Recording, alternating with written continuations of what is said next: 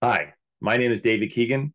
I'm a family doctor and professor of family medicine at the Cummings School of Medicine at the University of Calgary. I'm here to talk to you about how long COVID is bad. Many of us have heard about long COVID.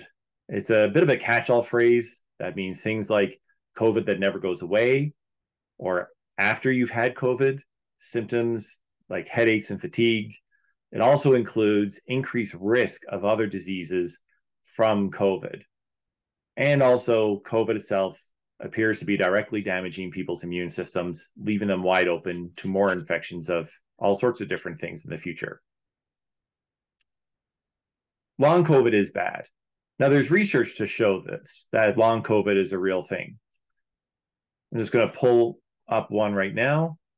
So, this is from a, a study by uh, Bowe and group called acute and post-acute sequelae associated with SARS-CoV-2 reinfection. So these this shows people with one, two, or three infections how much more likely they are to have different conditions. So, for instance, looking at fatigue down here, if you have one infection of COVID, it looks like you're maybe approximately uh, 30% likely to have ongoing fatigue, more likely than if you hadn't had one infection of COVID. But if you have two infections, you're starting to look at it's more than doubled risk. And if you've had three or more infections, you've got over a three times risk of ending up with long term fatigue compared to if you never had COVID in the first place. But these sorts of numbers and bars and stuff, you know, you wonder do they translate into people's real experience? Well, I'm a family doctor, and I can tell you in the past two years, I've seen and treated more patients with blood clots in their lungs or their legs than I've treated in the previous 25 years of my work as a family doctor. That's incredible. In the past two years, I've seen more people with new inflammatory arthritis than in the past 25 years of my practice. I've seen way more people in the last year or two with really strange chest pain, uh, possibly related to what's called coronary vasospastic angina.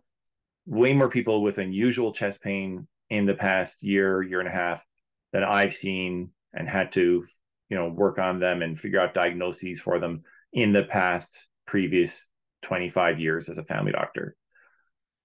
So we're seeing lots of people turning up in our clinics with all sorts of complex disease and conditions.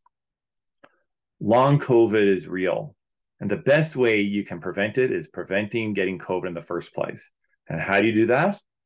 Always wear good quality masks like N95 or equivalent or better. Ventilate your area as much as possible, filter the air, and ask for air filtration in your schools and workplaces. And also by asking for policies for isolation and paid sick leave from governments. Together, all these things will help prevent COVID dramatically. By preventing COVID, you prevent long COVID. So please, long COVID, it's real, it's bad, it's really bad. Please do what you can to prevent yourself from getting COVID in the first place and to prevent other people from getting COVID as well. Take care. Bye bye.